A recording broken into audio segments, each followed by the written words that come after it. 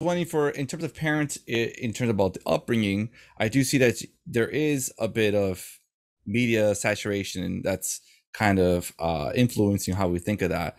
Uh, but i was wondering then that since you clarified on that matter what about barriers to your parents understanding of their their child's mental health?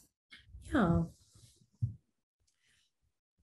I think this all goes back to like being willing to have there's a lot of value that's placed on and this is a generational trauma piece here there's a value there's a lot of value placed on protecting the family name, protecting our identity, and protecting how we look like to other people. This also comes from a place of survival for them, right? In order to not be looked at as a problem or to be a troublemaker or to do be, be difficult, that then made sure that you secured income, you had a job, you had a livelihood, right? You don't stand out, you blend in. This was the same thing like we experienced generationally growing up in the same way with hiding our um, our cultural name or our cultural outfits, right? Or our identity. So, going back to your question, where is the emphasis placed on protecting the family and what people are going to think?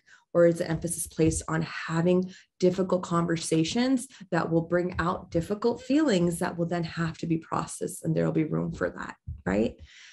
Both sides are parents are holding a different anxiety. If i bring up stuff that my kids having a difficult time i have to face this. Not only do i have to face how i am as a parent i have to make a change and unheal and i mean heal and unlearn values that have been placed on me and witness that as well as make room for a relationship like this with my kid where we're talking about these things. It always comes back down to are the parents willing to have this type of communication with their children? This very open communication without it looking like without them getting personalized personalizing it or getting defensive around well you're saying you're struggling with school or you're not doing well. I've done everything for you. I've given you this. I've been working. They are working but at the same time don't personalize it. It's not about you. Well meet your child where they're at in the time that they're at.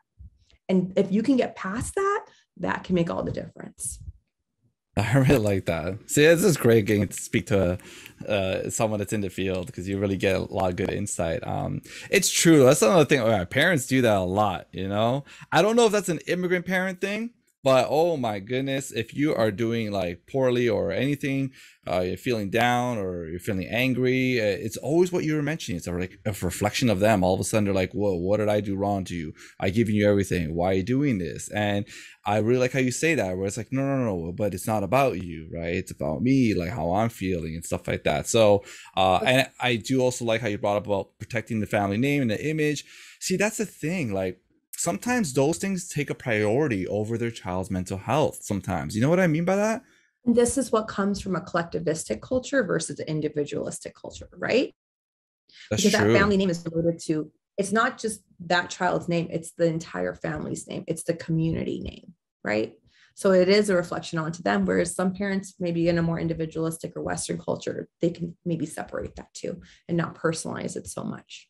Not always uh, but more so See, that's like you know that's what, what these podcasts are about, man. We get to learn about these things. See, that's great insight. Like once again, it's true. It's really difficult to sometimes because we're sometimes ethnocentric in the sense that mean we're we grew up here like this is our reality so we look at ourselves like for me you know i'm looking at my name i'm christian you know i'm not mr figueroa like something like that right so i understand how that works um, but we don't really reflect on it as much because we're here Right. So we're always about it's about me. It's okay. It's me. It's my. If I screw up, it's it's my name. It's fine. But to them, it's like no, no, no. Our whole family's gonna see this. It's yeah. a shame on all of us, right? right? I think, and I think that's a privilege that comes with being born in the U.S. Is like you're growing up in a very ethnocentric environment, mm-hmm. right? A very individualistic identity. As in a way, too, you should be able to develop if if the story of the immigrant child or the first generation child is not figuring out who their identity is right and who they are outside of their family i don't know what is the story or the narrative that we're all trying to figure out here right? So there should be a healthy level of who am i alongside my family but that allowance of as you get older 18 19 20 allowing your young adult not your child to figure out who they are themselves because you learn a lot more about who you are from the experiences that your parents probably don't want you to have yeah, that yeah, that's, that's very true. Yeah, most definitely. Um, You're right.